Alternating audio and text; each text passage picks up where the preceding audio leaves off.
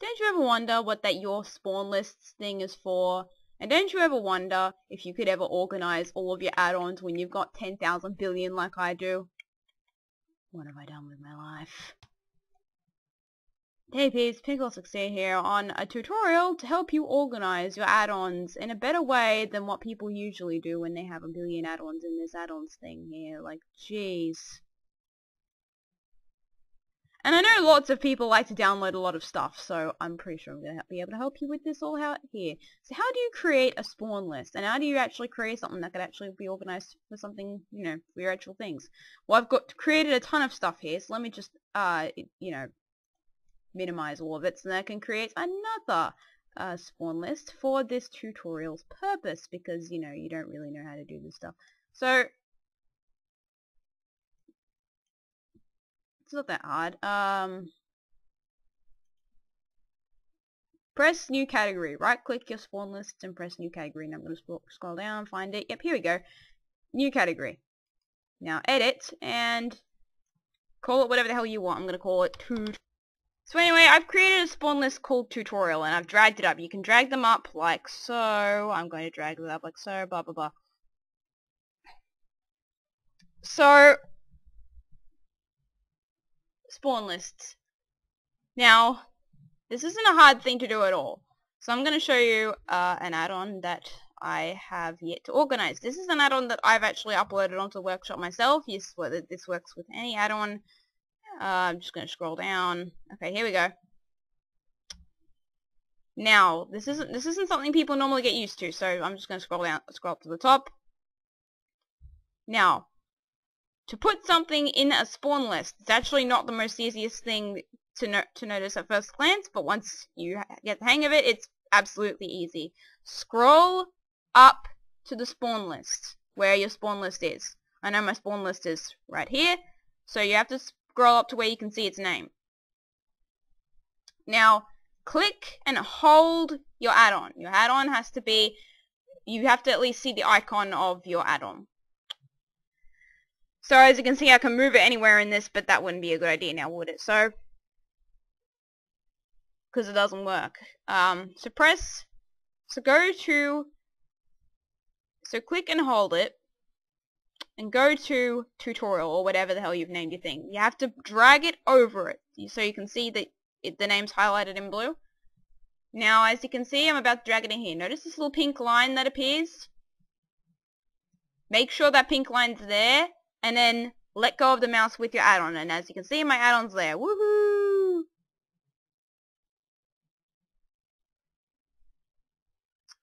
Now, if you've got a billion add-ons like me, I don't expect you to be adding singular every single model into the thing on its own because you've got a billion and that would just waste time. There's an easier way to do this, and especially if you're going to be doing this for multiple add-ons, it's a more viable opportunity to do so.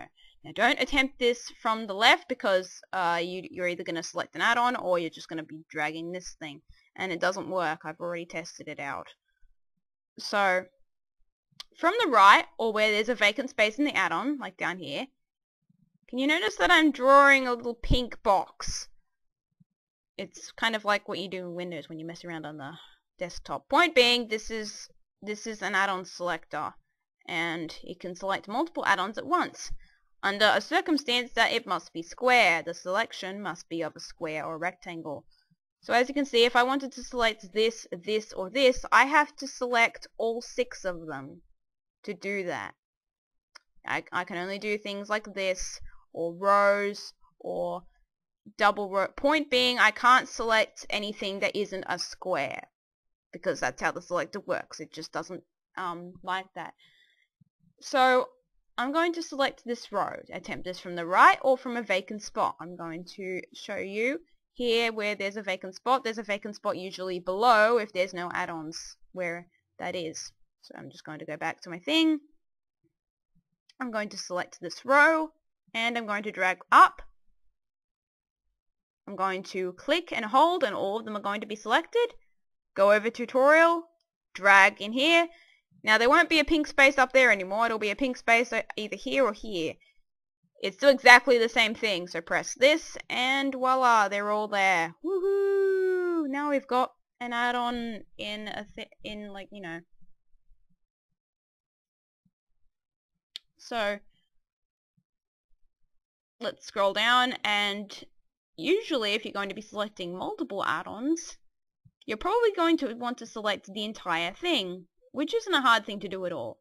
So, if you've got lots of add-ons in a particular model thing, and I know some model packs that do, click, hold the select thing so you can see the pink thing, and then scroll and hold. Make sure you don't let go unless you know you want you want to let go at that specific point.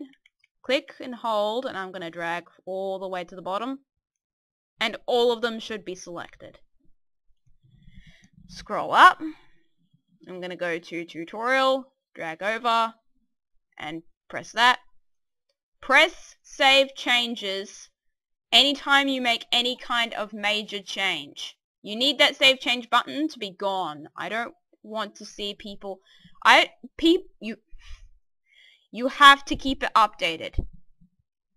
An easier way to do this is with um, the text versions of these because fun fact spawn lists are actually text documents. Yeah. So and also let me tell you something everything that you get is a singular item, which is fine, but you can't duplicate it if you want a body group.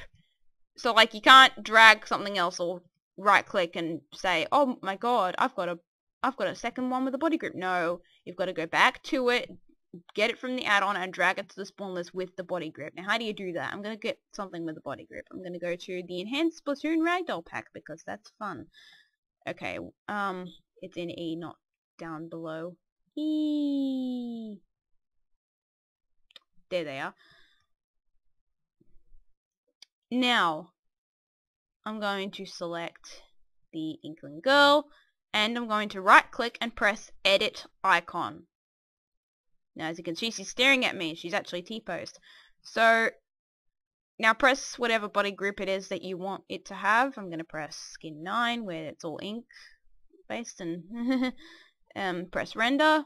It should already be rendering for you. I don't, I don't really care. And then click, wait,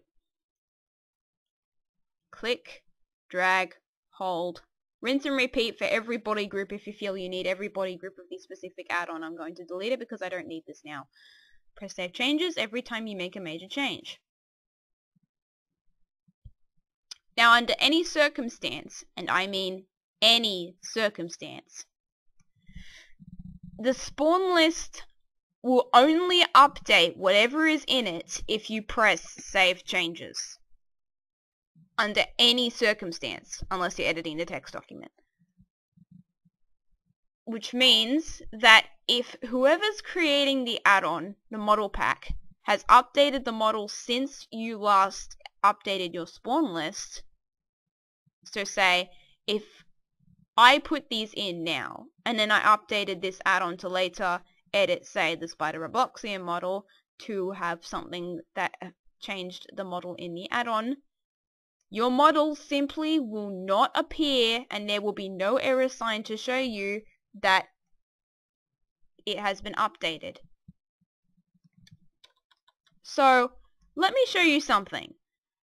In my add-ons legacy folder, I have another enhanced Splatoon Ragdoll pack. This is an older version from when I was um, extracting textures from it to see if I could edit them before the update arrived where they had better tent physics. If I if the actual versions of these that were on the workshop was still in a spawn list that I had created, they simply would not appear your models have to be updated in order for them to appear in when you've pressed the spawn list version at all. So if I've pressed this here, this is the most updated version of the add-on. Therefore, the Inkling Boy will appear.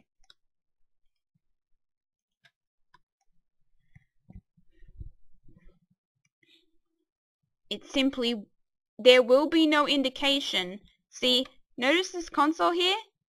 there will be nothing here to tell you that the add-on that the add-on that you've put in there refused to load.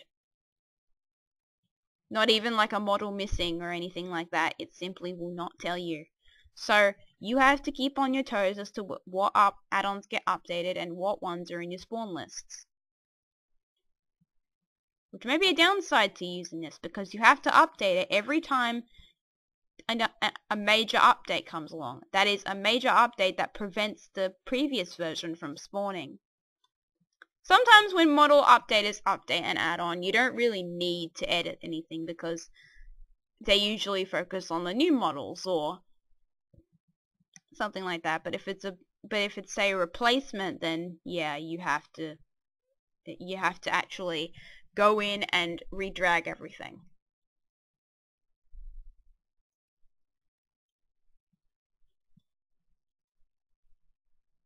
So let me just um let me just um show you an add-on that may not appear in the future. These. This was a pack that someone made back when the models did of the um, weapons of Splatoon didn't actually make it onto the workshop yet. This was someone's attempt at creating these models, and yes, they suck. I'm not even kidding, they suck. I only have this for preservation purposes, if they're even worth preserving at all. Point is, if this add-on wasn't updated, if someone deleted this, then, and I still had it in a spawn list, it would not appear. There won't be a red error sign, there won't be a model with missing textures. Nothing will happen. No model will spawn, it just won't appear. And nothing will say anything like, oh god, the model didn't spawn that's when you know you actually have to go and update it. Now I'm going to show you the circumstance under which you can edit things so then you can do something like this. I'm going to show you my Animal Crossing ragdolls. I've got them for some reason. Yes, I do.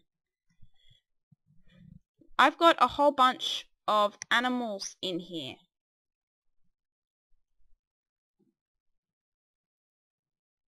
and all of them have got body groups.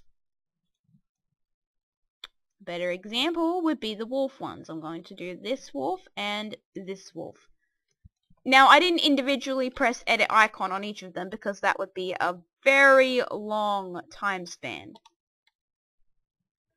I don't know Animal Crossing names, so if you guys know who these two are, that's cool. Uh, I just subbed to them because they looked cute, and you know, they're cute, and I like cutesy things. Anyway, the fact is that these guys had body groups, and I wanted the body groups as well to be in the in the thing. Only problem was there's so many of them that getting body groups of them would be ridiculous for every single one to drag them individually. Because see with the see with this, I'm going to show you one of the Animal Crossing ones. This is the original pack. See, you can edit the icon like say press skin 13 for this and then press skin 13 for this and you can just drag like that and that would happen and you can drag it over and that would work. But I just simply didn't want to do that for every single one. So there is a better way you can actually edit body groups of an add-on. So long as you've dragged one already, so then you know what the format is, so then you can actually drag them across properly. Because, as you can see, this one has skin 13, but there's eyes and a mouth too. And you might want those. I don't, but you could. So I'll show you what I used to get the Animal Crossing ones all in a spawn list. So I'm in my Garry's Mod folder, and this is where most of the stuff for your Gmod thing even occurs. You, you should be at Garry's Mod, Garry's Mod, so press Settings, and press Spawn List. These are all of your spawn lists. Every single every single spawn list I've ever created has been in here. And they don't even take up that much space because they're text documents and that's wonderful, isn't it? Gmod doesn't have to load all that much when it starts up. Yay! So, I'm going to find my Animal Crossing one because that was the one I used to get all of the animals in there. So here it is. I'm going to press edit, their text documents. And notice how it's just all code. Isn't it wonderful? Now I'd like you to take a look at this one. At these two actually. Notice how they're exactly the same model. The type is a model. It should always be a model. The model should be the model wherever the model is. You don't have to worry about these two. Skin is what you're concerned about. If you want to do this, then you have to edit the skin and make sure it's the proper skin that you're actually going to have. So skin 1 or 2. Notice how when there's no skin, there's nothing there. So you don't just press skin 0 it just doesn't, the skin just isn't there. Now notice how this has 4, 5, and 6. That's their placement in the spawn list. That's a simpler way of getting add-ons with body groups inside an add-on easier because what I did was I copy-pasted the bird MDL because it's the exact same fi file model I copy pasted this and changed the skin and the ID of the placement because you can't have two things in space 5. One thing has to be in space 5, one has to be in 6, one has to be in 7, etc, etc, etc. So I just copy pasted this and changed the skin and the ID so then it would be in place 6 but it has skin 2. It's in place 7 but it has skin 3. It's in place 9 but it has skin 5 and rinse and repeat until you've got all of them done. And then I moved on to the next one. So I moved on to Blanca. Or Blanca. I'm not sure how you say that. Don't kill me. Where this has none. But this has skin 1, this is skin 2, this is skin 3, this is in place 15, this is in place 16, this is in place 17. That's another way to get add-ons into um, a spawn list. Make sure you have the spawn list already created though and make sure you already have one in there so then you're not blindly typing in something that could eventually lead to a broken model. That wouldn't be good now, would it? Yeah. To save this, because it actually works, you need to restart Gmod first off so then it will actually work. Then you can go up and press File Save.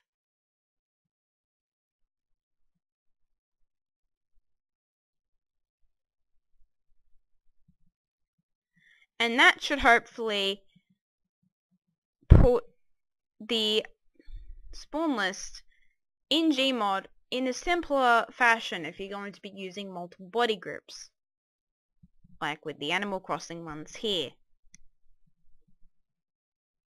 So yeah, see y'all, have a good day, peace, and that's how you make a spawn list for Garry's Mod, or, you know, edit, editing and making a spawn list for Garry's Mod to organize your add-ons from the workshop.